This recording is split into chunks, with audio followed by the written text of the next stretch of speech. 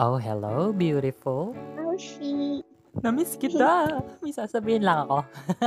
Ano? Ewan ko, nababaliwan ka. Kung sa English ay I love you, tapos sa Tagalog ay mahal kita. Sa mathematics naman ay 143. Ewan ko ba kung bakit? Basta ang Tagalog ng tubig ay water, tapos ang Tagalog ng ilog ay river. Then combined it together, I love you forever. Baliw ka na.